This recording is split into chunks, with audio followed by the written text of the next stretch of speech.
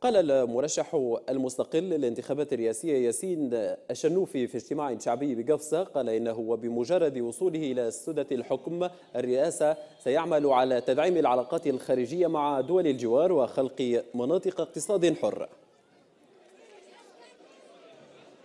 بالعلاقات الخارجية نجيبوا مستثمرين اللي نجموا يخدموا الجنوب والشمال والوسط والساحل. لأنك حتى المستثمرين اختصاصات راهو. مش أي أجنبي يجي لتونس يجي الجنوب باش يخدم. فما أجنبي يجي وفما أجنبي ما يجيش. نحن نعملوا على الناس الكل. وعلى كل منطقة شكون نجموا بعلاقاتنا باختصاصنا نجيبوه لتونس. مثلا فما الأوروبيين ما يخدموش في الجنوب. معروف هذا.